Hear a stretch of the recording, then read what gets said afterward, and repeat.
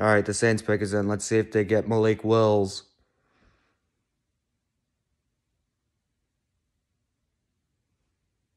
They didn't get Malik Willis, but I'm kind of happy with the pick.